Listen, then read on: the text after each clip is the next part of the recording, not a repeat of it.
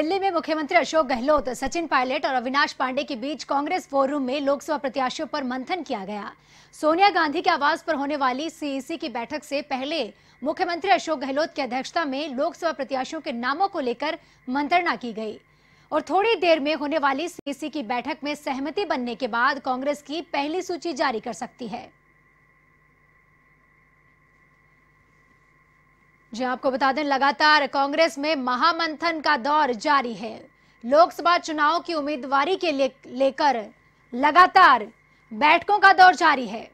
और अब सीईसी की बैठक में प्रदेश कांग्रेस की चर्चाएँ बैठक जारी है और इसी के बाद प्रत्याशियों के नामों पर मोहर लग सकती है, ऐसे कयास लगाए जा रहे हैं। और इसी खबर पर विस्तार से जानकारी देने के लिए एवं संवाददाता प्रीत किरण हमारे साथ फ़ोन लाइन पे मौजूद है। और प्रीत सीसी की बैठक के बाद क्या कांग्रेस भी अपनी लिस्ट जारी कर देगी और राजस्थान के उम्मीदवारों के नाम निकल कर बाहर आएँगे?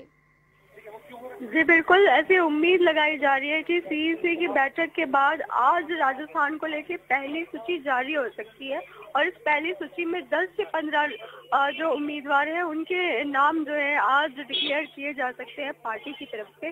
अभी फ़िलहाल 10 जनपद पे सोनिया गांधी के आवास पे बैठक जारी है। इस बैठक में सीईसी के तमाम सदस्य खुद कांग्रेस अध्यक्ष राहुल गांधी, सोनिया गांधी, मनमोहन सिंह, गिरजा व्यास तमाम इन अंबिका सोनी, इन तमाम सदस्यों की मौजूदगी में सचिन पायलट अशोक गहलोत और अविनाश पांडे पहुँचे हैं प्रदेश से और बैठक जो है करीबन एक से डेढ़ घंटे उम्मीद लगाई जा रही है कि सीईसी की बैठक के लिए ही शाम पाँच बजे अब से कुछ ही देर पहले ये बैठक शुरू हुई है और प्रदेश की 25 की 25 सीटों पर मंथन चल रहा है और फ़िलहाल ये उम्मीद ज़रूर लगाई जा रही है कि आज 10 से 15 जो उम्मीदवार हैं उनकी सूची कांग्रेस पार्टी जारी कर सकती है राजस्थान को लेकर। जी।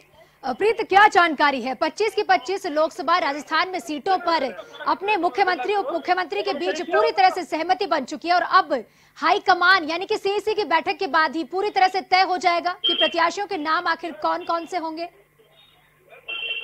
जी बिल्कुल। 25 सीटों पर मंथन ज़रूर चल रहा है लेकिन जो सिंगल पैनल नाम है उनको ही आज जारी किया जाएगा। यानी कि पहली सूची में केवल 10 से 15 नाम आने की उम्मीद लगाई जा रही है। फ़िलहाल जो है पहली सूची का ही इंतज़ार हो रहा है और बैठक अंदर दस जनपद पे चल रही है। और दूसरी सूची जो है दो से तीन दिन में आ जाएगी। फ़िलहाल आज पहली सूची आएगी। कांग्रेस ने इसका ऐलान नहीं किया है। औपचारिक तौर पे नहीं कहा है, लेकिन ये कयास ज़रूर लगाए जा सकते हैं। जी। जी प्रीत लगातार आप इस खबर पे अपडेट हमें देते रहिए, लेकिन एक बार फिर से आप सभी को बता दूँ सीएसी में अब प्रत्याशियों के नामों पर मोहर लगने की पूरी पूरी उम्मीद है। और 10 से 15 सीटों पर इस बैठक के बाद राजस्थान के उम्मीदवारों के नामों की घोषणा होने की उम्मीद पूरी पूरी से जताई जा रही है।